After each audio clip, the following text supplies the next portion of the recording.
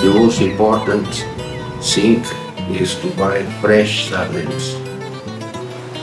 The sardines arrive to the factory and the workers work with hands. We have not machine to cut the head and gills of the fish.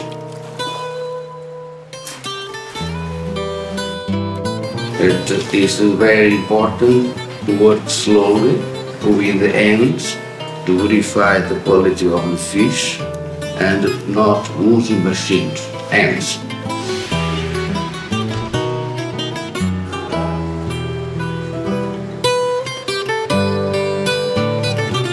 Pinhais was founded in 1920.